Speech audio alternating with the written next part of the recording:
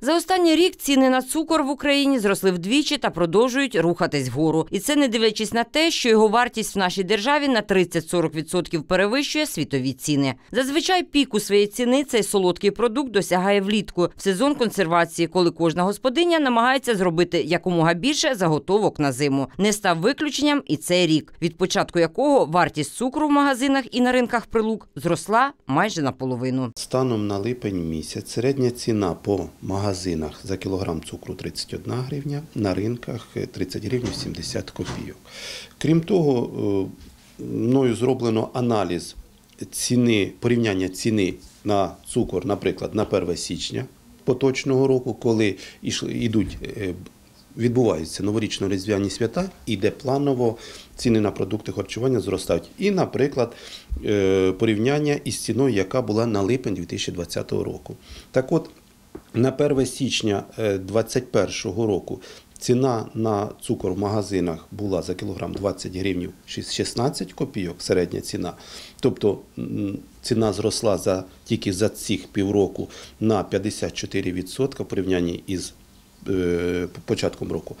А на ринках е, ціна на цукор була 23 гривні 50 копійок. Тобто за е, цих 6 місяців ціна на ринках зросла е, майже на е, 40%. Проте це ще не рекорд різниці в ціні. Якщо порівнювати з аналогічним періодом минулого року, то вартість цукру зросла більш ніж вдвічі. Станом на 1 липня 2020 року ціна цукру в магазинах е, була 12 гривень 50 копійок, на ринках 14 гривень. Тобто за рік ціна зросла і в магазинах на ринках у 2,5 рази. Олександр Сивенко говорить, що причини такого різкого зростання ціни на цукор досить банальні. Відповідно до думки експертів, які зараз е, висвітлюються у соціальних мережах, в засобах масової інформації, зростання цін на продукти харчування, в тому числі і цукор, за цей період є наслідком збільшення попиту населення на продукти харчування, що й приводить до зростання ціни.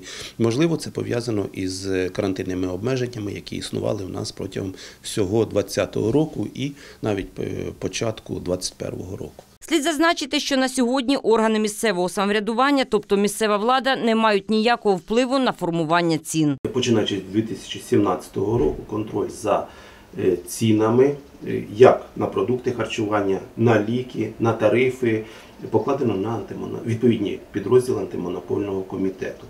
Чому? Тому що е, своїм рішенням у вересні 2017 року е, Кабінет міністрів України відмінив контроль за цінами, особливо на е, продукти харчування. До 2017 року була жорстка націнка від 10 до 15% е, на стратегічні продукти харчування, цукор, борошно, макаронні вироби, олія, ну і так далі, які були затверджені на рівні Кабінету міністрів, а також розпорядженням кожним розпорядженням голови Чернігівської і інших облдержадміністрацій.